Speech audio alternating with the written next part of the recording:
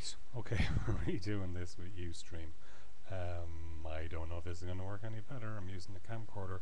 It's better for you, slightly less good for me because I'm finding it very hard to um, hold this between a tripod at the minute.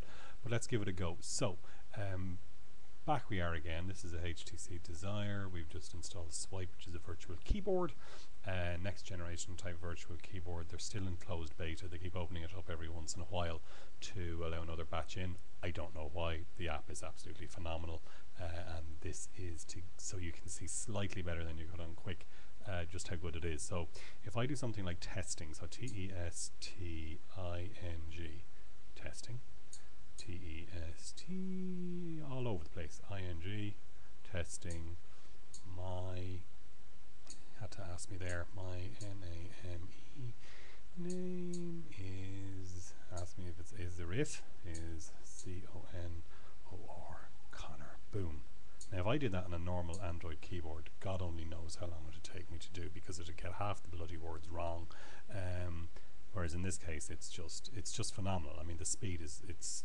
Oh, I've got tingles here. Um, what else can I do? I, I haven't even dug into it. I actually haven't looked at the help yet. So I, I just install this, you have to tell it, you'd have to tell each entry screen on Android to use Swype. So you can actually toggle between standard entry and Swype entry depending on what suits. So I've told this is the SMS screen, uh, use Swype.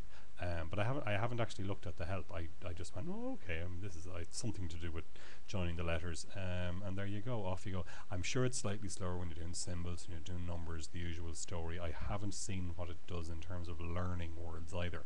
But um, this is oh I don't know. Um, my what else can we do? Um, oh I don't know. I'm blanking completely. Uh, T-H-I-S this is S-W-Y-P-E Swype.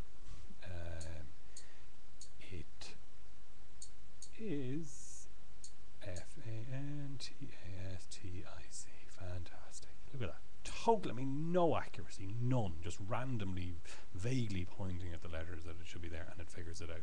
It's just stunning. Um, I want to give them my money. If they want to ring me, you know, email me, I'll give them my money. It's it's that good. Um, so there you go. That's Swype. Uh, if you have an Android device, uh, if you have an Android device more specifically that um, has one of the bigger screens, so the older ones like the G1 and so on can't do it. They must need it for the accuracy. Um, it should work. Um, they're doing. I know their their business model is more to go with the uh, operators or handset manufacturers themselves. But come on, um, if it works this well, to offer it to us punters as well, we'll happily give you our money. And that's it. More later.